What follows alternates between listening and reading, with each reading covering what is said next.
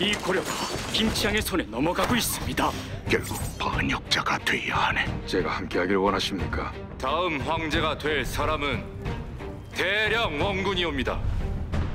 죽었으면 어찌할 것이요? 내 이놈들! 거라는 분명히 이를 구실로 전쟁을 일으키려 들 것이옵니다. 이 고려에서 용손을 해친 자를 용서할 수 있는 사람은 없소. 거란과의 전쟁을 승리로 이끈 고려의 황제 현종과 강감찬 그리고 수많은 영웅들의 이야기 고려 거란 전쟁 CNTV에서 만나요.